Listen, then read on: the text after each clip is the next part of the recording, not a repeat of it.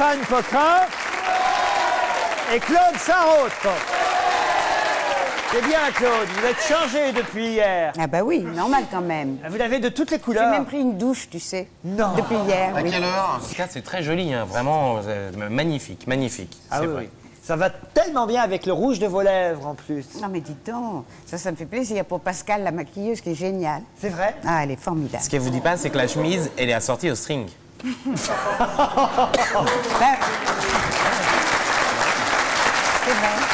c'est Stéphane, c'est pas beau de regarder sous la douche. Non mais t'as pas vu mon string quand même. Comment T'as pas vu mon string Juste le string. Si, si, en Vous photo. avez un string Bien sûr, je porte que ça. Ah oui Mais oui, parce avec- que ça fait, des ça fait pas de marque. Pardon Non, c'est pas Ça ne vrai. fait pas de marque sur ma C'est vrai Mais bien sûr. J'adore quand elle dit sur ma tête comme ça, je trouve ça génial. Portez un string sur votre tête Non, je jure sur ma tête. Ben, ça prouve qu'il n'y a pas d'âge pour la coquetterie. Voilà, exactement. Et la commodité. bien. Et la commodité. La commodité. Ah, moi, je trouve ça épatant. Pas besoin de l'enlever pour aller aux toilettes, on fait ça. Ah, tiens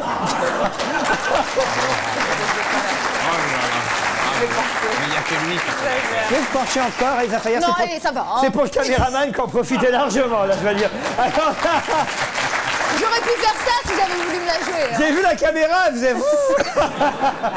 Et dès que je me penche, je vois le petit, le- la petite lumière rouge là qui t'actionne. Bonjour monsieur Viens, je le connais bien, viens. Allez, voudrais viens. faire sa connaissance. Viens voir, viens voir.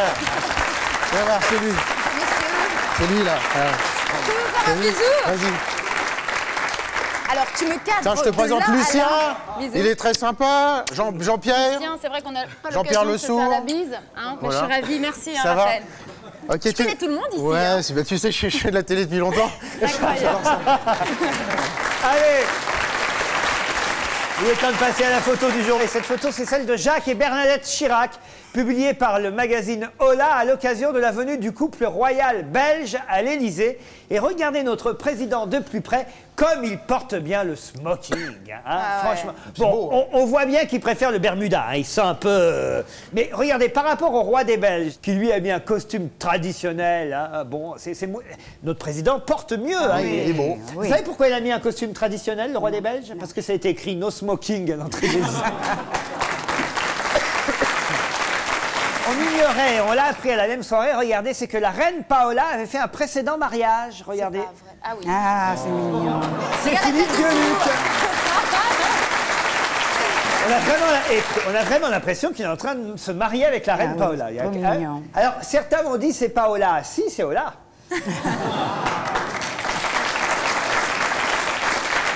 Ça vous fait rire, ça, Pocra Ouais, C'est nul, c'est archi nul. Non mais justement, bientôt vous allez, vous allez me faire de la concurrence. hein, là. C'est- vraiment... Non, mais ça, alors, est-ce que c'est Ola ou Paola Ah, c'est Ola. sûr. C'est la reine Paola dans Ola. Voilà. Oh, c'est hyper marrant, vraiment, je regarde pas la. C'est une énorme célébrité en Belgique, c'est normal. reine, que- ah oui. Non. Philippe, Philippe Geluc. Le roi Philippe Tu me cherches Oui. Eh ben, tu vas me trouver. Maintenant, je ne peux plus vous regarder normalement, Claude. Je vois le string, je sais pas pourquoi. Passons tout de suite à la revue de presse des dessins humoristiques de la semaine et on commence par Lacerpe, dessinateur de Marianne, qui a noté pour nous la baisse du prix du gaz. Et on voit un type qui demande à l'autre Mais qu'est-ce que tu fais? Je fume mon briquet. Alors. Ah oui J'avais pas vu que c'était un briquet, je Ah croyais oui, que il a mis un son gros briquet dans la bouche et il fume son briquet puisque le gaz a baissé. C'est ah, fin, ça se mange sans Oui, fin. tu- tu- Ça y est, j'ai compris. Merci. Ouais, non, mais tu vois, Elsa, il n'y a pas que le décolleté qui a besoin de profondeur. Dans Charlie Hebdo, le dessinateur Cabu a relevé, lui, qu'on nous avait annoncé 2 999 999 chômeurs. Et on voit Raffarin qui dit avec moi, ça fera 3 millions. Génial. Dans le canard enchaîné, le Fred Touron souligne, lui, les limites de la technique à propos des radars. Et on voit un type en voiture qui dit à un autre Regarde, un radar automatique. Je m'en fous, je roule à 90, mais je suis bourré. On en revient à la question déjà évoquée cette semaine. Ne vaut-il mieux pas rouler à jeun à 140 km/h que bourré à 90 C'est vrai. Il faudrait en fait des radars contre. euh, Non, ce qu'il faudrait, ce qu'il faudrait, si on doit trouver une bonne idée, le volant, par Attendez, exemple. un doute, j'ai un doute. C'est vous qui allez donner la bonne idée Oui, c'est ça. Oui. Déjà les trucages, énorme. Alors, donc, Alors, ouais. dans chaque On a tout essayé, nous ne reculons devant aucun effet spécial. voilà. Donc, vous montez dans votre véhicule et là, il y a un petit testeur sur le volant qui renifle l'odeur Des souvenirs de de jeunesse. hein. l'alcool. pas du tout. Et là, la voiture ne démarre pas si vous êtes bourré. Est-ce que c'est pas une bonne idée Et ça tu mets des rails et Je crois qu'en sortant, je vais aller à l'INPI. Non mais c'est pas idiot ce que vous avez dit, c'est pas de vous. Je viens de l'inventer à la seconde. C'est pas possible Je vous surprendrai jusqu'au dernier jour, Laurent. Elle en a sous Ah non, je vous en prie, pas, jus- pas jusqu'au dernier jour. Rose dans Marianne nous montre des radars aussi. Mais regardez, les radars automatiques sont surveillés par des caméras automatiques parce que, vous savez que maintenant on les endommage. Alors c'est la chaîne sans fin, évidemment. C'est pas très drôle, mais ça m'a amusé quand même. C'est dans Marianne. Si, c'est pas mal. Il y, a- il y en a au moins un que ça aura amusé. Non seulement je trouve formidable, mais je trouve que c'est un très bon choix. Merci mon cher. Moi, je trouve ça merveilleux. hein. Je, je- je trouve formidable. Des Vous, le choix des couleurs, t'as vu Plus j'aime bien Caméra bleue. Merci mon petit Jean-Luc. Mais arrêtez, arrêtez. C'est fini les chouilles là Oh la reine du string, ça va hein Ils sont là, ils te laissent le derrière. Retourne dans ton cabaret, s'il te plaît. Depuis qu'elle est au Moulin Rouge, elle. hein. L'actualité internationale maintenant, vue par le Fred Touron dans le canard enchaîné. On voit les militaires américains qui disent à Bush l'Amérique a perdu plus d'hommes en Irak depuis la fin de la guerre que pendant. Alors Bush dit bah, déclarons la guerre à nouveau. Direction la Californie, victime, vous le savez, de graves incendies avec Grosse dans Marianne, le nouveau bronzage californien. Ça, c'est horrible. De l'ambre dans le canard enchaîné s'arrête sur le mariage politique entre Besancenot et Laguillet. Et on voit Besancenot qui a déjà pris des leçons et qui dit Révolutionneur, révolutionneuse La même union, vue par un autre dessinateur, risque toujours dans Charlie Hebdo, le postier et la vieille boîte aux lettres.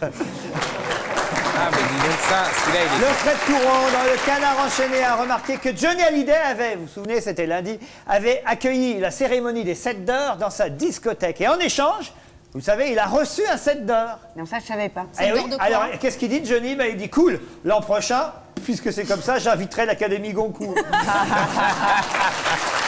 Ça, c'est bon. Moi, j'aime pas euh, verser dans l'autosatisfaction, mais on peut quand même se féliciter d'avoir reçu 3 sets d'or lundi. Et euh, personne n'en a parlé, donc. euh, 3 sets d'or de quoi? De, de quoi? Dans quelle catégorie? Meilleure de toute façon, émission, ça, ça- ça a pas été diffusé. On peut dire ce qu'on veut, personne Ah oui, ne peut vérifier. Ah. Donc il faut en profiter. 3 d'or, c'est vrai. Avec Trois trois Cèdres, Cèdres d'or, vous avez raison. C'est vrai. notamment Laurent Eh oui. Ruquier, qui a eu le meilleur présentateur du JT. Donc on peut le féliciter. Bravo. Le 7 d'or du meilleur string.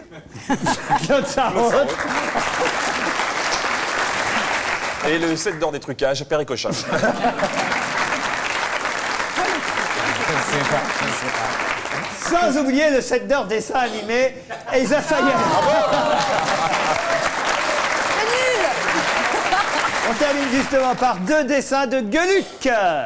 Dans un dessin noir et blanc, le bord d'un carré tout noir est forcément noir, alors que le bord d'un carré tout blanc est forcément noir aussi. C'est génial. C'est beau, hein Un petit dernier pour la route. Toujours Philippe Gueluc et son chat, et le chat nous dit Je le jure, une chose m'épate chez vous, c'est que vous arriviez à lire exactement à la vitesse à laquelle je parle. Le mois dernier est sorti Nos amis les humains chez Albin Michel, le nouveau livre de Bernard Werber qui fourmille d'idées toujours plus surprenantes et saugrenues. Cette fois-ci, il est question d'un homme et d'une femme qui se retrouvent prisonniers dans une cage, pendus ou perdus. Perdus ou pendus Perdu. Perdu. Perdu. Perdu, Pendu, perdu. Ça s'arrête à la première page. hein. Mais non, pas pendueux. La cage, elle d'accord. pourrait être Non, pendue. elle est. On sait pas, justement. Bah, c'est tout pour le ça, elle truc. peut être pendue dans l'univers, la cage. Bah, pendue à oui. quoi Si elle est pendue, elle est forcément accrochée à quelque chose pour être pendue. Mais on s'en fout. T'as raison.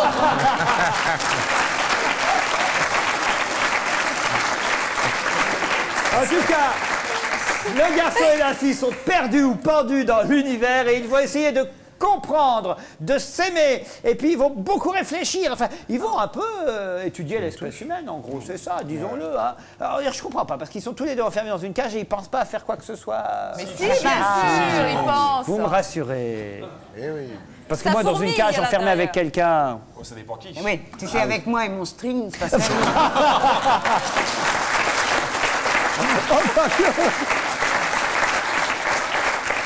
C'est du n'importe quoi ce soir. On est dans un monde parallèle aujourd'hui. Pardon pas- On est dans un monde parallèle aujourd'hui. Cette émission se Eh bien, déroule. ça va beaucoup. accueillir Bernard Eh bien, ça va beaucoup plaire à notre invité. Accueillons tout de suite Bernard Werber.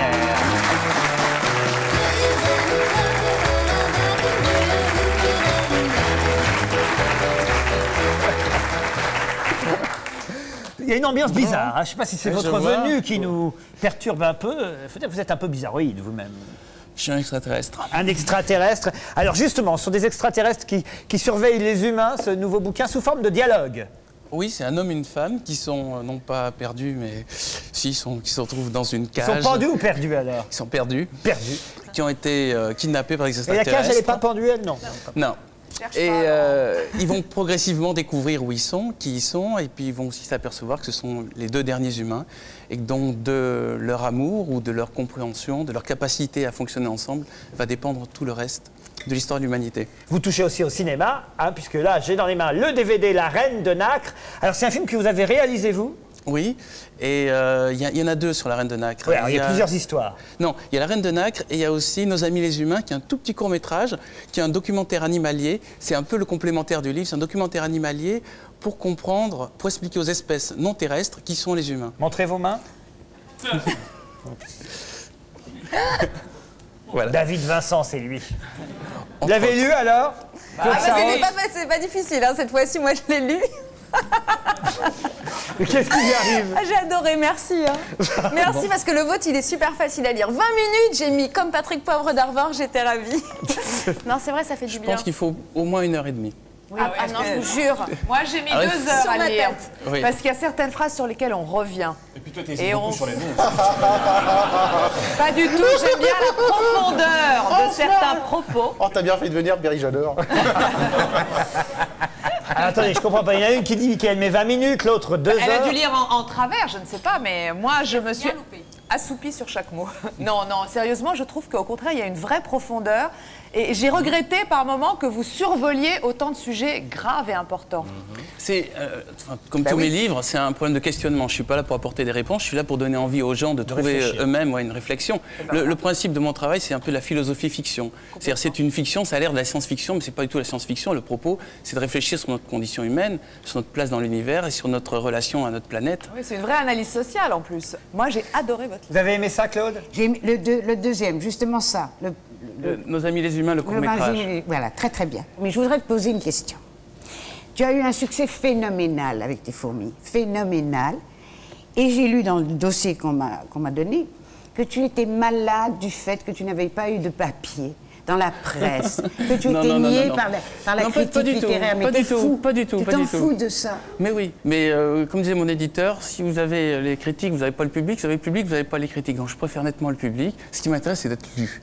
Voilà. Elsa, vous ne nous avez pas dit si vous aviez aimé vraiment. Elle a dit J'ai beaucoup aimé. Non, elle, vraiment. elle a dit qu'elle avait aimé que ce soit court. Mais voilà. Non, non, mais j'ai aimé parce que je l'ai- je, je- je l'ai parcouru en très peu de temps, parce que je l'ai dévoré. Donc voilà, c'est ce que je voulais vous dire. Euh, la seule chose, c'est que vous dites euh, tout d'emblée qu'on est surveillé par des extraterrestres, alors que. Ah non. Non, non, je n'avais jamais dit qu'on était sur Et voilà, extraterrestres. faut le relire. 20 minutes, c'est pas assez.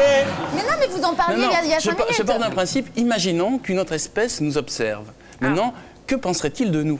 Mais le thème du livre, c'est pas les extraterrestres, c'est l'humain. En fait, même dans tous mes livres, même quand je parlais des fourmis, c'est les fourmis, comment oui. elles, se situent par rapport à nous. En fait, c'est toujours le même livre? Oui. En tout cas, c'est toujours les trois mêmes questions. C'est qui sommes-nous? Qui est- Où allons-nous? Et d'où venons-nous? Jean-Luc Lemoine. Alors, euh, moi, j'ai j'ai vachement aimé le, le DVD. euh, Le, si- je sais pas pourquoi. Il est persuadé que je le déteste. Je ne sais pas pourquoi. Euh, non, le, le DVD, La Reine de Nacre, avec les, les deux héros, je trouve, on a envie de les revoir, Isidore et Lucrèce. Et il y a une preuve que Bernard Werber était un auteur populaire, si on peut voir. Son premier livre, c'était Les fourmis. Donc là, on voit, petit nom, gros titre. Ça va venir.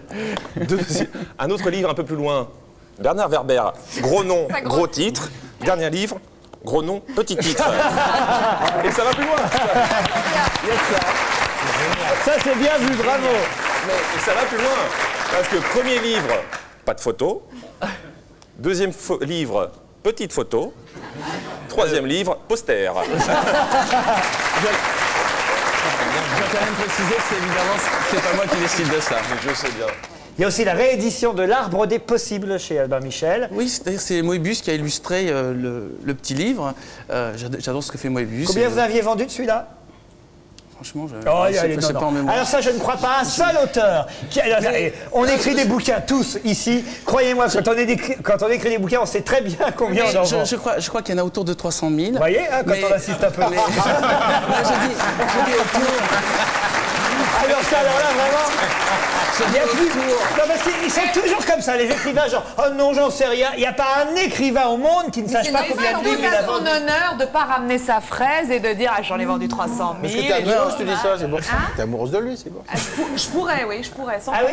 C'est son type d'homme Ah oui, je pourrais. C'est pas mon type d'homme a priori. euh, le, en mien, a plutôt des cheveux, mais euh, mais très honnêtement, oui, je pourrais parce que je trouve qu'il a un univers dans sa tête. Et d'ailleurs, je suis curieuse de savoir comment il est dans la vie de tous les jours. Ah oui, oui, ça, alors, alors, ça marche avec les femmes, tout ce que vous écrivez ou pas? Est-ce que Perrier, c'est votre genre?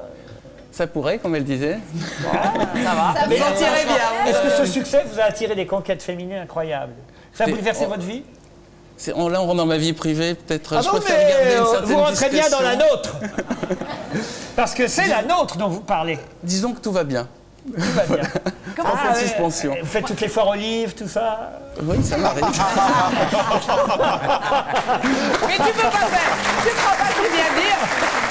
Dans les foires aux livres, j'ai rarement vu un endroit où il y avait autant d'histoires entre les autres. vrai Oh là là là là. Ah oui Ça y va. hein. C'est vrai Ah oui. Je voudrais peut-être aller faire des Non, mais ça fait signatures. des années que j'écris, j'ai toujours refusé d'aller. Ben, j'ai eu Tu bien peur. raté.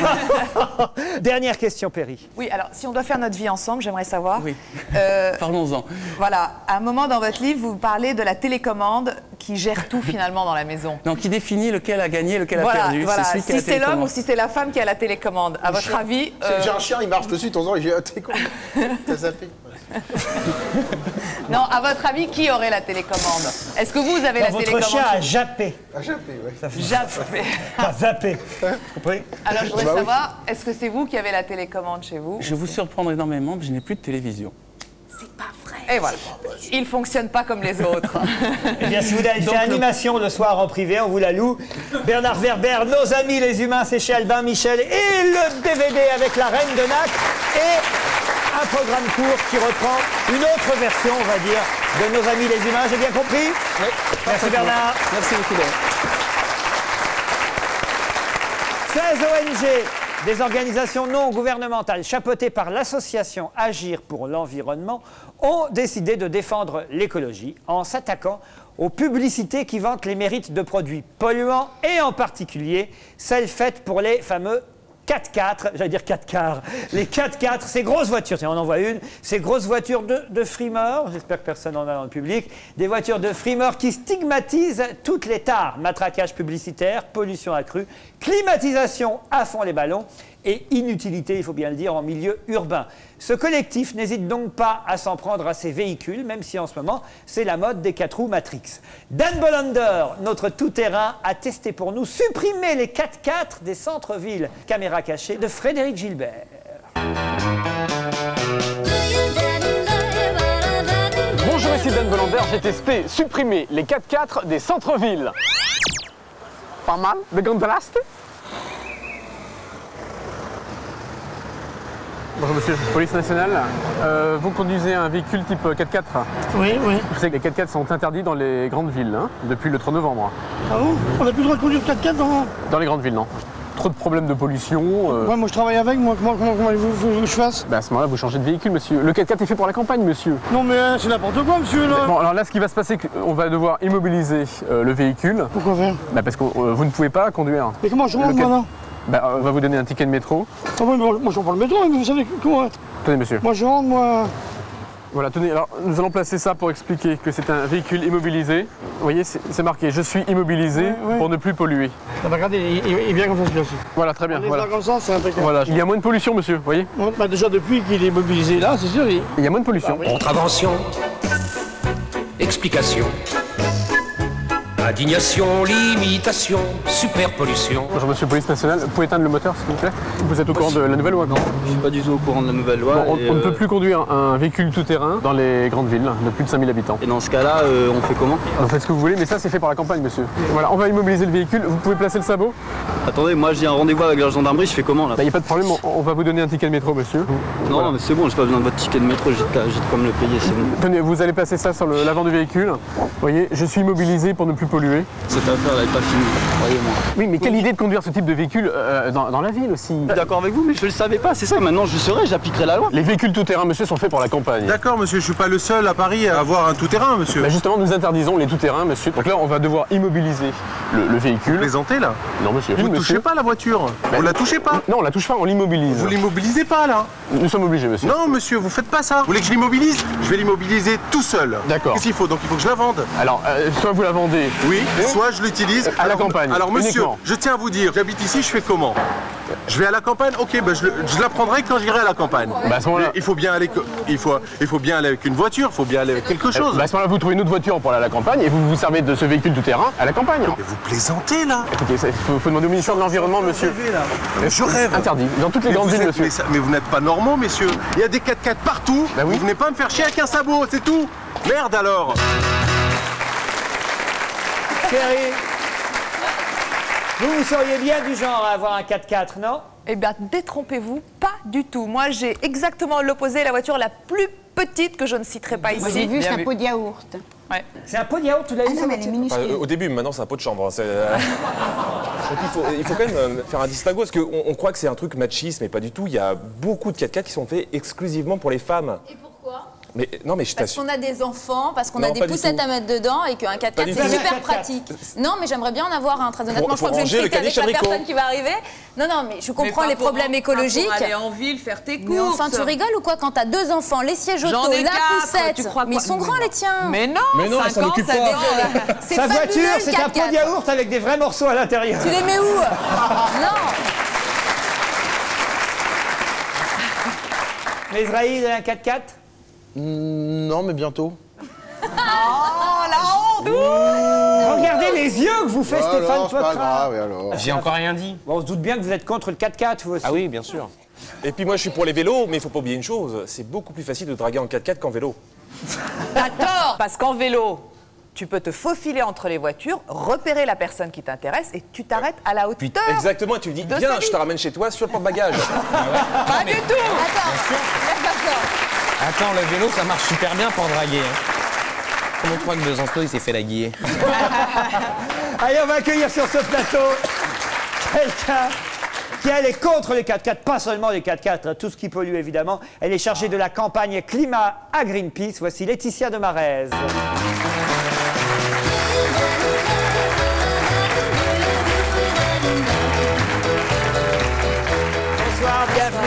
Merci de venir à la rescousse euh, de Stéphane Pocrat pour contrer mes petits camarades Fayer et Mesrahi. Raphaël Mesrahi est prêt à acheter un 4x4. Vous avez, à mon avis, les arguments pour. Ah oui, c'est bon Je suis convaincu. Alors. Non, mais il faut savoir que, que le 4x4, c'est absolument une aberration, euh, surtout euh, dans les centres urbains. Alors non seulement bon, ça pollue, évidemment, euh, ça produit deux fois plus de gaz à effet de serre qu'une voiture ordinaire. Donc les gaz à effet de serre, vous connaissez le, le CO2, c'est euh, le gaz qui est responsable du réchauffement de la planète. On en a eu les premiers effets cet été, on a tous eu très chaud. Et En même temps, c'est plus- bien la clim pour lutter contre la canicule provoquée Bah par les autres véhicules. donc on, on arrive vraiment dans une spirale infernale parce qu'il fait de plus en plus chaud, donc on met la clim dans les maisons, on met la clim dans les voitures, et cette climatisation, comme elle entraîne une surconsommation, eh bien elle aggrave l'effet de serre, et donc on est dans, un- dans une spirale infernale. raison. Et c'est pour ça que convaincu. je voudrais bien vous dissuader d'acheter un moi, ce qui me 4x4. dérange plus, c'est pas les 4x4, c'est les, les bus de tourisme dans les, dans, les, dans les villes. Ça, c'est vraiment une catastrophe. Cherchez pas à dévier le terrain. Votre 4x4, c'est non pour Noël, d'accord Ce qui est très très bien, ce qui est vachement bien dans votre, dans votre campagne, c'est que vous attaquez au cœur, du, au cœur du problème. Parce que Raphaël, il sait que ça pollue, il sait que ça coûte cher et tout ça, mais il veut quand même son 4x4. Ah et oui. pourquoi? Parce que Raphaël, Parce il qu'il est. veut des couilles. Parce qu'il, non, parce c'est à peu près ça. Il est, il est malheureux et en lui vendant son 4x4, on lui dit si t'as le 4x4, t'auras la nana qui va avec. Et donc, je l'ai. comme Et voilà. Raphaël, il a Et voilà, qu'est-ce que je disais Eh ben, il peut- Raphaël, il veut être burné, c'est ça que vous voulez Attendez, pour le moment, j'ai pas de voiture et je suis très très bien comme ça. Bah, Donc, restez-le. j'hésite entre le 4x4 et rien. Pour le moment, j'ai rien et je suis ravi. Ah, Vous êtes vraiment Voilà. entre deux extrêmes. Mais, Mais euh, oui, mais parce que je suis comme ça, voilà. Elsa Fayer. Je vais me faire taper. Allez. non, non, mais je trouve que à chaque fois, c'est super de- de- d'essayer de, lutter et, et de faire du bien. Mais je trouve à chaque fois qu'on s'attaque à un truc qui veut rien dire, quoi. Le, pourquoi s'attaquer au 4x4 en particulier? Il y a des tonnes de trucs. Alors, si on veut gérer et si on veut régler le problème, on s'attaque à plein de choses, comme tu disais, euh, les bus, les, les cartes de transport en agglomération, on s'attaque aux, lingettes. Là, il y a une vraie campagne contre le 4x4. Moi, je trouve que c'est du racisme anti-4x4 et je trouve que je vois pas pourquoi le 4x4 devrait payer pour tout ce qu'on fait. Parce on que c'est le, le symbole de notre société de surconsommation où on gaspille euh, à qui mieux mieux sans se soucier des conséquences. Si tu compares au nombre de lingettes, elle a raison, Elsa. c'est vachement plus grave, les Parce que moi, je ne suis jamais cul avec un 4x4. Ça, c'est un truc. C'est dégoûtant Non mais Claude et Elsa, vous en- les gens n'ont pas toujours le même argument. C'est-à-dire qu'en gros, où on est capable de tout stopper, Oui. Et donc si on n'est pas capable de tout stopper, il faudrait qu'on dise rien sur rien. Donc ils disent un truc sur les 4x4, ça veut pas dire qu'ils disent rien sur les lingettes à côté. Et alors ce que tu as dit tout à l'heure, et que, que Raphaël a dit aussi, sur les transports, sur les bus, les trucs comme ça, je dis pas qu'il n'y a pas des bus polluants. Les mais quand, mais ça. attends, Les bus de tourisme. oui, mais préfère un truc avec 50 personnes dedans qu'un con qui pollue autant qu'un bus alors qu'il est tout seul dans sa voiture. Et, et souvent, ceux qui sont dans le bus n'ont pas beaucoup d'autres solutions. Tandis que votre pare-bus, là. Ouais, franchement, là. Vous n'êtes pas être ridicule avec votre pare-bus, mais j'en ai campagne pas encore. Moi, je propose. Qui, tiens, voyons. Qui a un 4x4 ici dans le public Qui peut Non, mais soyez francs, hein, Soyez francs, levez la main. Ils sont honnêtes. Monsieur Il est là Vous aviez bien une tête de chasseur urbain. Ah, là, vous avez, ah, vous avez, ah, vous avez honte, là, maintenant, hein, monsieur Pas du tout. Pas- Mais il vit peut-être à la campagne, arrêtez. Vous habitez où, monsieur? J'habite dans le Var. Dans le Var. Ah, ça commence bien. Ah C'est vrai que c'est un véhicule polyvalent qui permet entre autres, dès lors que l'on sort en fait, des cités, hein, de pouvoir accéder avec une certaine sécurité, euh, notamment vers, vers les stations de ski et, et éventuellement aussi euh, vers, les, vers, les, vers les campagnes. Et, euh, voilà, quoi. Oui, non, mais Oui, mais ça dépend où vous l'utilisez. Pas Bien en entendu. ville, en plein Paris, ça n'a aucun intérêt. Oui, enfin, Paris, je comprends très Ouais, bien. euh, il Paris, va pas s'arrêter euh, à la porte de Paris et dire bah, je vais racheter notre bagnole pour rentrer dans Paris. C'est, euh, Non, mais monsieur n'habite pas à Paris. Pour le, le- le- le type ou la personne qui habite à Paris, ça n'a aucun Ne vous intérêt. acharnez pas sur monsieur, ça tombe ce pauvre monsieur, Au il a même pas de contraire, 4x4, je dis qu'il a raison. passer à la télé. Alors, c'est vrai. Je propose que nous, vous êtes tous d'accord pour lutter contre le 4x4, pour aider Greenpeace Oui. C'est facile. Je sens pas un enthousiasme. Le premier 4x4 que vous voyez, vous me promettez, le type qui sort, vous faites gros con, gros con. Hein? Pardon, monsieur. Pardon, monsieur, pardon. Catherine Barma vient de me souffler que notre réalisateur Serge Calfon a un 4x4. Gros con Gros con Gros con. Gros con C'est nul. Et attendez, parce qu'il y a l'autre réalisateur, Richard, qui remplace aujourd'hui Serge, parti avec son 4x4, qui dit Moi aussi j'ai un 4x4. Gros con aussi. Gros con. Tous, allez Je crois qu'on a fait une bonne campagne contre le 4x4. Bah, J'espère que ça portera ses fruits, effectivement, Là, et que j'aurai dissuadé quelques personnes au moins en- sur ce plateau. Ou alors mariez-vous, vous en aurez un pour deux, c'est déjà ça d'économiser. Allez, on remercie Laetitia de Marais, merci beaucoup. Chargée de la campagne climat chez Greenpeace. Les hommes ne peuvent pas tomber enceintes, c'est d'ailleurs avec le foot et la bière, ce qui les différencie essentiellement des femmes. Oui, les hommes ignorent les inconvénients de la grossesse et c'est pour leur faire réaliser que ce n'est pas toujours facile de porter la vie qu'a été créé aux États-Unis, écoutez bien, le simulateur de grossesse. Ce simulateur reproduit exactement les gènes physiques et émotionnels de la future maman. La respiration difficile, vous connaissez ça vous, euh, Perry, vous aussi Claude, vous aussi Elsa. Moi aussi, oui. Ah bah non, pas vous.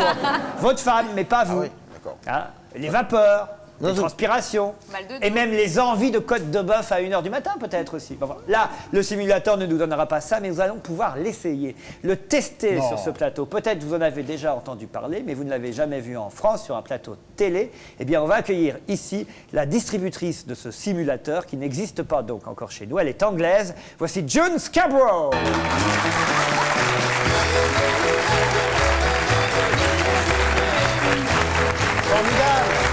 Bravo Bravo Bravo Bravo Bravo, c'est génial Bravo, madame, bravo C'est formidable Marvelous Marvelous, madame Yeah, yeah On laisse bien répondre madame qui va être évidemment traduite, vous le savez. Bonjour la traductrice.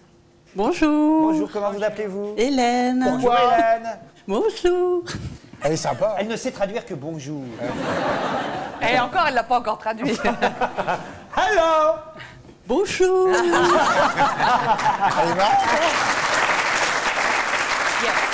Vous êtes anglaise Yes. Mais quand vous avez Oui. entendu parler pour la première fois de ce simulateur, c'était aux États-Unis Yes. Ouais. that is- it was in the United Euh, States. C'était aux États-Unis, effectivement. It was designed Et en fait, c'est un appareil qui a été conçu Linda Ware. par Linda Ware. Et ce qu'elle voulait, en fait, c'était que les pères, les papas puissent avoir une empathie, une compréhension pour euh, leur épouse, leur tendre épouse, qui portait ce poids de la Alors voilà. grossesse. Mais dans un deuxième temps, vous, vous avez eu une autre idée, vous avez ramené l'appareil en Angleterre, et alors? Alors, en fait, ce qui s'est passé, c'est qu'on a essayé d'essayer cet appareil avec des adolescents. Euh, dans une classe hein, et on s'est rendu compte que les jeunes gens, d'ailleurs les garçons, tout à fait, ça a été à notre surprise la plus totale, qui était très très macho. On dit oh là là, on va porter ça, pas de problème. Alors on leur a fait porter ce petit gilet et ils ont été complètement choqués. euh, Ils sont restés comme deux ronds de flanc et on s'est rendu compte qu'on avait vraiment euh, touché un point sensible, un point chaud, comme on dit en anglais. Assez parlé, on va tout de suite voir cet appareil, puisque vous aurez peut-être remarqué que Jean-Luc Lemoyne n'est pas sur notre plateau, c'est parce qu'il a déjà mis cet appareil sur lui. Il va vivre, Jean-Luc, ici, euh, en direct dans cette émission, l'expérience d'être enceint ou enceinte, en tout cas les effets euh, De la grossesse. de la grossesse sur un homme. Alors, est-ce qu'on peut appeler Jean-Luc Lemoyne?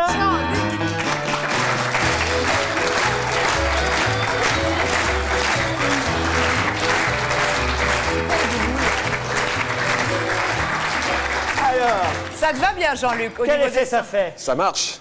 Va me chercher des fraises. Non mais c'est lourd, c'est pas lourd? Ouais, oui, non, c'est très lourd et en plus, là, visiblement, c'est un garçon. Hein. boules, là. Bah, c'est un garçon. Ah. Euh, Il est comme son père, hein voilà, exactement. Ah, mais dis donc, t'en sais des choses. ça. Je ne sais rien, malheureusement. Enfin, ceci étant, euh, Laurent, euh, normalement, quand on a une femme enceinte, on laisse sa place, mais c'est pas grave. Là, il est à 8 Ils mois, complètement. hein, c'est, euh, Non. 8 mois Oui, c'est ça, 8 mois. Oui, oui, oui, oui, moi. Oui. Une Ah, il- femme enceinte, on la laisse pas debout, Laurent. Enfin, c'est un connard avec un truc. hein. Attendez, je vais bouger parce que je voudrais que vous alliez tester. Je voudrais que vous alliez tester, Jean-Luc, voir si, Est-ce que je peux répondre aux questions? Voilà, voir si tous les gestes sont aussi faciles, les gestes de la vie quotidienne, quand on est enceinte. Grâce à cet appareil, Jean-Luc va s'apercevoir que non, j'imagine. Voilà, maintenant que vous portez le gilet, il faut que vous compreniez que s'asseoir, c'est parfois très désagréable et c'est source d'inconfort. Alors si vous voulez bien, est-ce que vous voulez bien vous D'accord, asseoir parce que, excusez-moi, j'ai fait allemand première langue et donc j'ai. euh, Bergerac, t'as grossi. Ah, Voilà. C'est bien? Euh, bah oui, oui, c'est bien, je suis bien, vraiment là. euh, Non, c'est très inconfortable là. It is uncomfortable. Oui, d'un Absolument, autre c'est côté, si, si je suis inconfortable. enceinte, je vois pas pourquoi j'allais me faire dorer sur la plage. hein, franchement, j'ai d'autres choses à foutre. C'est très mauvais. Ouais. I would agree with you. Euh, je suis assez d'accord avec One vous. of the things that the pregnancy Bon, enfin, simulator une does euh, des choses que fait ce simulateur, c'est que il y a quelque chose qui va en fait limiter euh, votre respiration? Est-ce que vous avez ce sentiment que vous avez du mal à respirer? Je vois que vous êtes tout rouge, vous commencez à transpirer un petit peu. Non, moi, je suis toujours très chaud, mais c'est vrai que ça appuie sur la vessie. Essaye de lasser tes chaussures. Ça, ça appuie sur la vessie euh, Voilà, un bonne petit peu quand même. Très bien. Essaye. Essaye de lasser tes chaussures. Oui. C'est le truc le plus dur. quand Sauf que là, ça, c'est Perry qui me demande parce que j'ai des scratchs, hein, mais c'est pas grave. Mais enfin, Euh, mets-les, enlève-les. Je comprends pas pourquoi on s'est fait chier à faire venir un appareil comme ça pour le foot sur Jean-Luc Lemoyne, alors qu'on aurait mis Raphaël tout seul dans la chaîne longue, ça aurait largement. on aurait obtenu le même résultat. C'est vrai Je vais bien l'essayer pour vous dire si ça fait le même effet qu'être enceinte. Non, t'as dit non, toi, laisse tomber. Alors, Non, c'est supportable, mais c'est vrai que c'est supportable parce que je sais que je l'ai pour 5 minutes. Mais c'est vrai que 8 mois, non. Non, mais- c'est pas question. hein. Je refuse qu'on me fasse un enfant, que ce soit bien clair. Allez, Jean-Luc, bah, c'est bien. Voilà.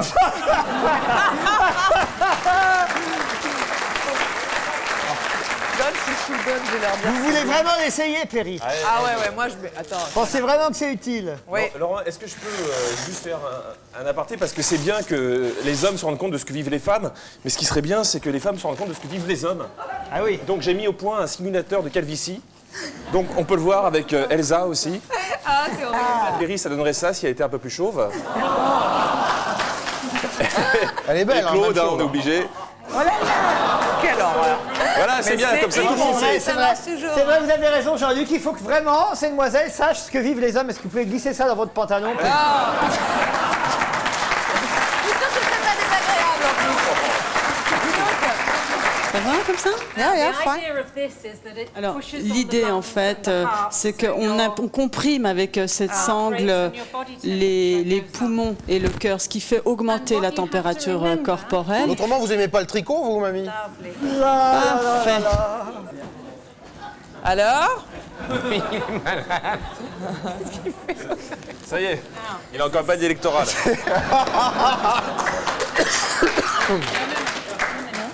Je meuble, hein, Alors, je meuble. ça, ça représente en the fait la of the taille baby. du fœtus, du bébé, qui va comprimer votre, votre vessie. Alors, Perry Pas con, finalement. Ah oui Bah oui, ça donne un peu. Il nous manque du pain, du vin, puisque nous avons le boursin.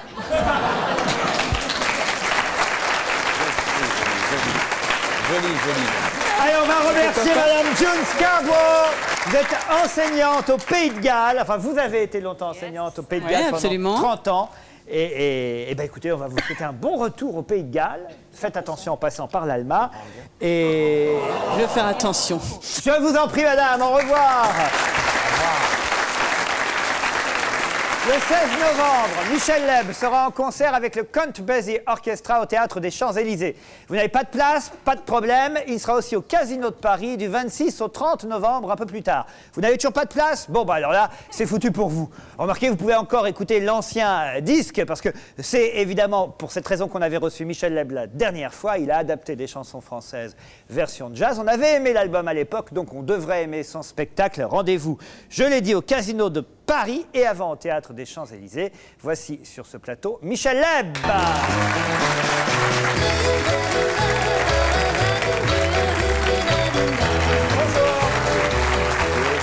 Bonjour.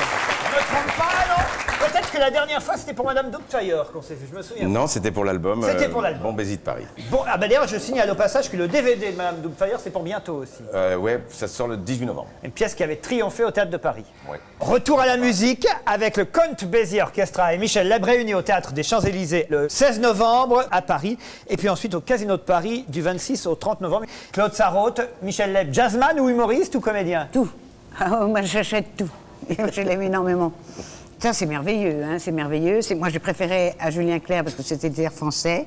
Ça fait penser un peu à Bruel, quand même. C'est pas ce que t'as dit quand Julien Clerc était là.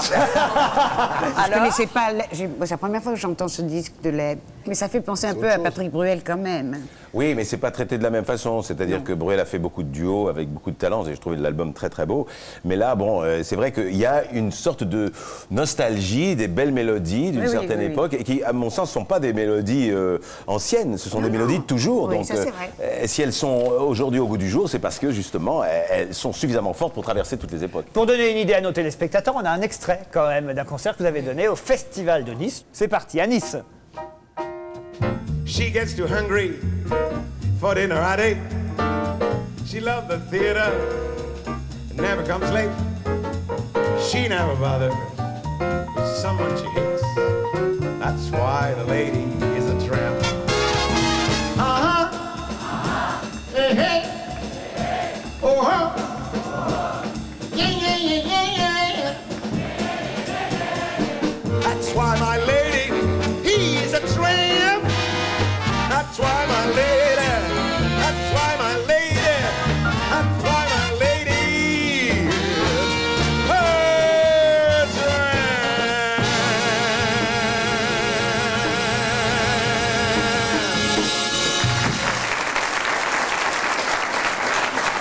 Cochin est impatient, je la vois s'exciter comme une puce. Ah Qu'est-ce que vous voulez dire à Michel Leb?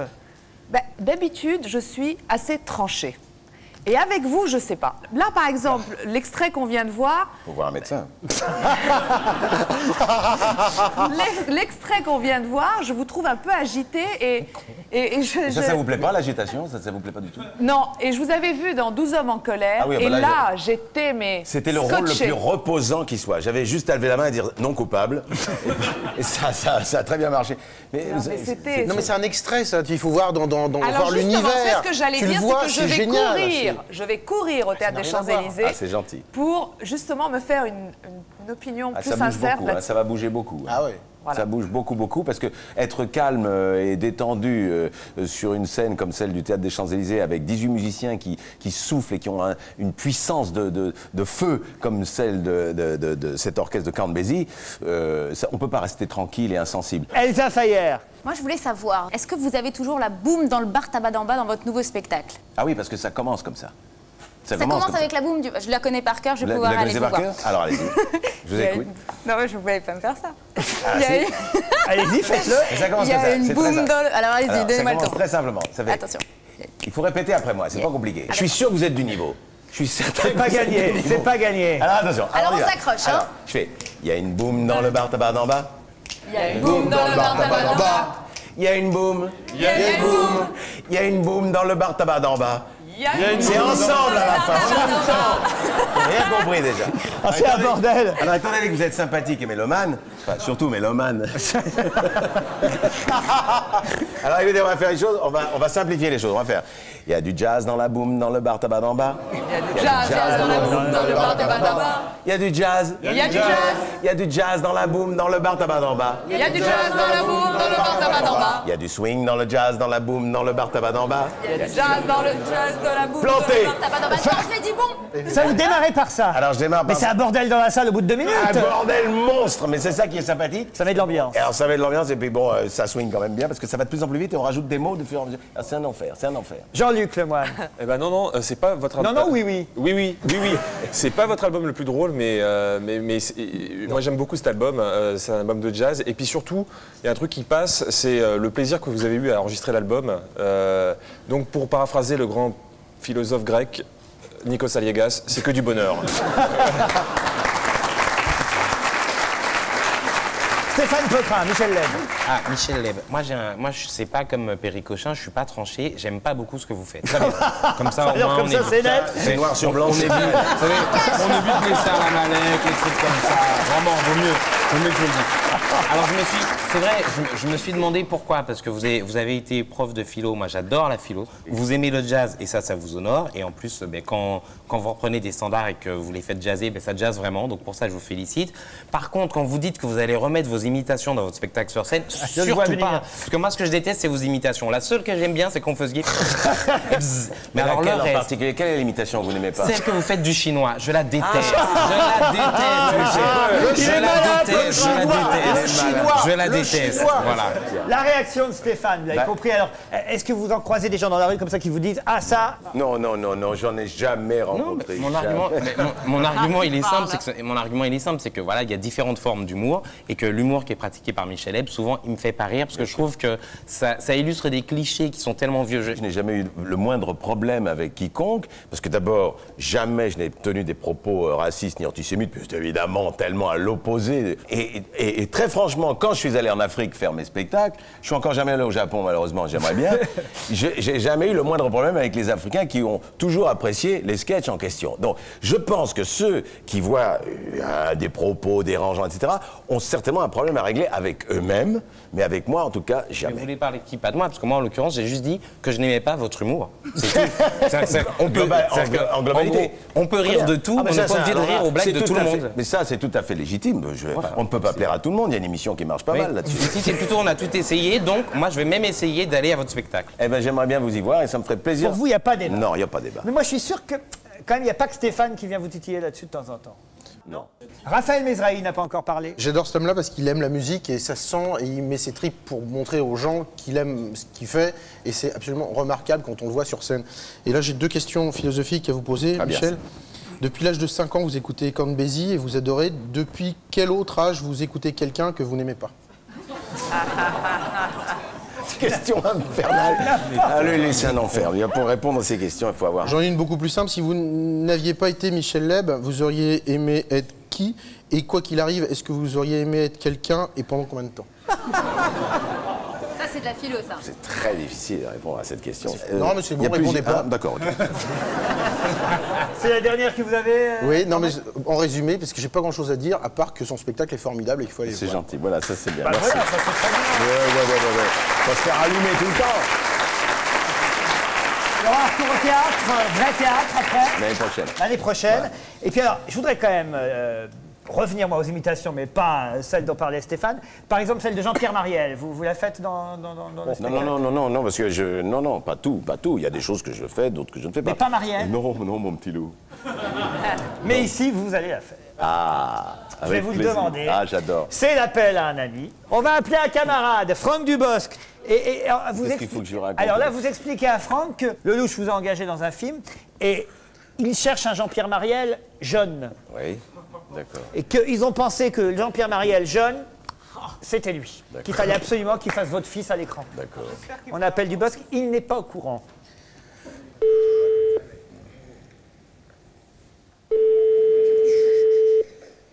Allô? Allô? Allô? Allô? Allô? Allô, oui, je voudrais parler à Franck Dubosc, euh, s'il vous plaît. Oui, c'est moi. Oui, bonsoir, euh, c'est Jean-Pierre Mariel. Ah, Jean-Pierre. Je me permets de vous appeler parce que Claude Lelouch euh, réalise un film actuellement sur, euh, sur une période de, de l'après-guerre et euh, ils aimeraient, euh, enfin, Claude Lelouch aimerait euh, trouver un acteur qui puisse jouer mon rôle jeune. Oui. Euh, je ne sais pas si, euh, si ça vous choque, si ça vous surprend ou si ça vous fait plaisir. Euh, toujours est-il que je me permets de vous appeler. Bon, attends, c'est qui? Je reconnais pas. Écoutez, euh, c'est Jean-Pierre Mariel au téléphone. Ah, d'accord, ok. Alors, donc, c'est Jean-Pierre Mariel. Mais est-ce que vous seriez euh, d'accord pour jouer le personnage? Oui, bien sûr, bien évidemment. Voilà, bah, c'est tout ce que je voulais savoir. Bien évidemment. Est-ce que vous voulez rencontrer Claude Lelouch rapidement? Oui, dès demain. Ah, c'est malheureusement pas possible, il est parti en déplacement, mais euh, la semaine prochaine? D'accord, très bien. Tant mieux, tant mieux, mon petit. Oui, oui, tant mieux. Ah, bah là, là, là, il y a un mélange de Michel Leb. Ah, gagné T'as mis du temps, hein. T'as mis du temps, hein Bonjour Franck Dubosc. Ça va Ça va, mon vieux, ça va Vous avez tout de suite compris que c'était pas Jean-Pierre Mariel, mais vous cherchiez qui imitait Jean-Pierre Mariel Je- Oui, j'ai compris que c'était pas Jean-Pierre Mariel parce qu'on est en froid avec Jean-Pierre Mariel pour une histoire de sexe avec Catherine Deneuve. Je ne suis pas en Turquie. Merci Franck Dubosc. Quant à Michel Leb, c'est au théâtre des Champs-Élysées le 16 novembre, c'est tout proche, et du 26 au 30 novembre, quelques jours plus tard, au Casino de Paris avec le Count Basie Orchestra. Oh, c'est quelle en- prononciation. et c'est encore pour 3 minutes avec nous pour le tac à finir.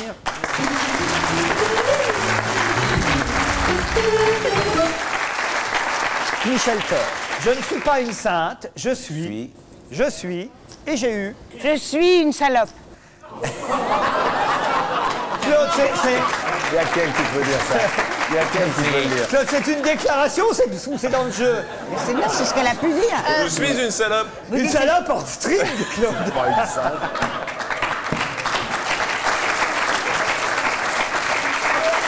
C'est les péchés capitaux Pardon Est-ce qu'elle cite les péchés capitaux Du tout. D'accord. Elle est quoi Oh là, c'est pas facile, vous n'avez pas de mal. Bon alors, je ne suis pas une sainte. Je suis sorti. Voilà.